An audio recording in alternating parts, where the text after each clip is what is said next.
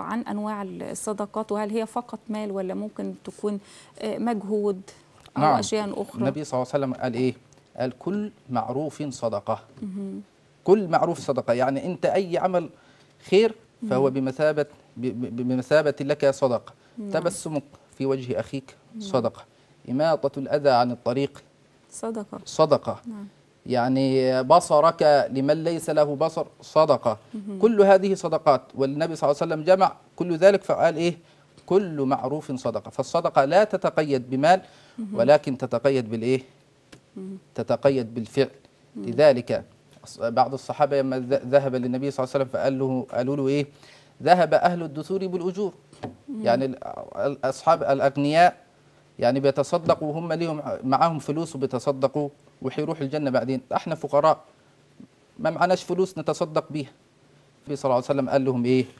قال لهم كل تسبيحة صدقة وكل تهليلة صدقة وكل تحميدة صدقة. نعم. فكل معروف.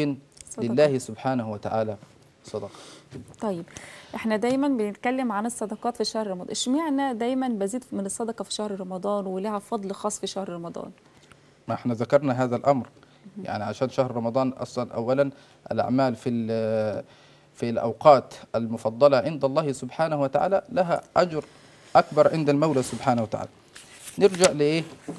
لبعض الفوائد اللي إحنا قلناها. اولا أن الصدقة هذه تضاعف الحسنات عند المولى سبحانه وتعالى. نعم. أن صنائع المعروف تقي مع مصارع السوء. يعني حضرتك زي ما قلنا لو الواحد طلع 10 جنيه في سبيل الله أن الله سبحانه وتعالى يعني سيلحقه في شدته إذا عمل عملا في حال صحته.